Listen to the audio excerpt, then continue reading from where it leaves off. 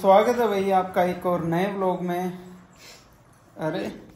Vlog start करते ही पंखा ही बंद हो गया बताओ। तो अभी मम्मी करवाएँगे एक्सरसाइज आज कॉल करके पूछा था डॉक्टर को तो डॉक्टर ने बताया कि पंद्रह दिन और लगेंगे सरने में। पर इतनी बड़ी तो कोई वो दिक्कत की बात है ही नहीं। तो पंद्रह दिन से ज़्यादा लगेंगे ही नहीं। मैंने वीडियोस इधर उधर देख देख के ना मेरा दिमाग खराब हो गया था। मैंने कहा, कई कह रहे हैं पचहत्तर दिन, कई अस्सी, कई नब्बे। तो मैंने पापा होगा आप कॉल करके पूछो भी कितने दिन के अंदर चलवा देंगे। तो उन्होंने बोला, डॉक्टर ने नॉर्मल फ्रैक्चर है, रिकवरी बढ़िया हो रही है तो अगले पंद्रह दिन बाद नॉर्मल चल पाएगा। बाकी दस मई को हमको जाना है हॉस्पिटल, नॉर्मल चेकअप के लिए, तब वो एक्सरे वगैरह ही करेंगे, पर 10 मई तक तो मैं चलने ही लग जाऊँगा तो उसमें तो कोई ज़्यादा टाइम रहा भी नहीं। तो दोस्तों फिजियो ने बताया था कि पैर कैसे रखना है। जैसे इस पैर के अंदर सर्जरी हुई है, ठीक है? तो ये पैर सबसे पहले रखना है, देख सकते हो आप।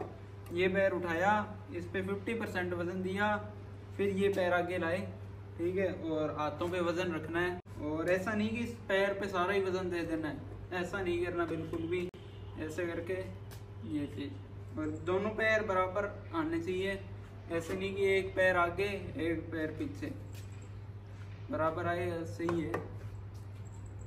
अभी जा रहा हूँ दुकान में इरिटेटिंग तो बहुत लगता है मेरे को, ऐसे चलना। पर क्या ही कर सकते हैं। बहुत आलस आता है। पहले दो दिन तो ऐसे था कि वाह भाई, अब चल पाऊँगा। पर अब ऐसे हो रहा है कि ढंग से कब चल पाऊँगा। तो दोस्तों, अभी सूर्य अस्त हो रहा है धीरे धीरे और मैंने राउंड मार लिया है। यहाँ से गया था मैं दुकान के पास से। वो दुकान है ना, ताऊजी की। वहाँ तक जाके वापस आ गया। वॉकर की मदद से।